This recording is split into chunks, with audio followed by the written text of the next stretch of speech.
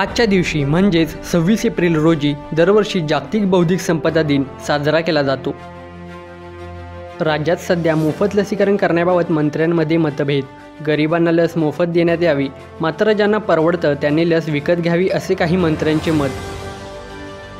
किरीट सोमय्या यांचे ठाकरे सरकारवर आरोप भांडूप रुग्णालयाला लागलेल्या आग प्रकरणात अद्याप अटक नाही असा प्रश्न केला उभा दिल्ली कॅपिटल्सचा खेळाडू आर अश्विन याने कौटुंबिक कारणांमुळे आय पी एल स्पर्धेतून ब्रेक घेतल्याची बातमी समोर.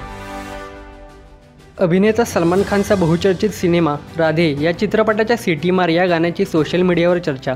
अल्लू अर्जुनच्या गाण्याला केलं कॉपी.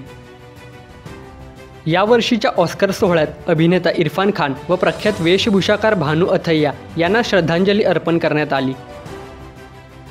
क्लोई चाओने सर्वोत्तम दिग्दर्शकाचा पुरस्कार प्राप्त करून रचला नवा इतिहास.